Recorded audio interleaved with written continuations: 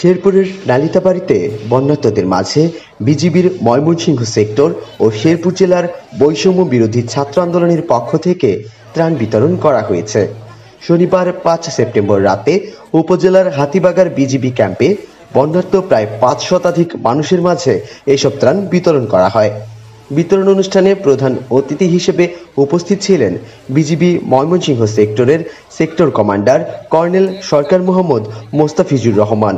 এ সময় অন্যান্যদের মাঝে উপস্থিত ছিলেন ময়মনসিংহের উনচল্লিশ বিজিবির উপ অধিনায়ক major M M Rashidul Islam ও বিজিবি হাতিবাগার ক্যাম্প কমান্ডার সুবেদার ওবায়দুর রহমান, শেরপুর জেলা বৈষম্য বিরোধী ছাত্র আন্দোলনের আব্দুল করিম, মনির হোসেন সাকিম আহমেদ প্রমুখ।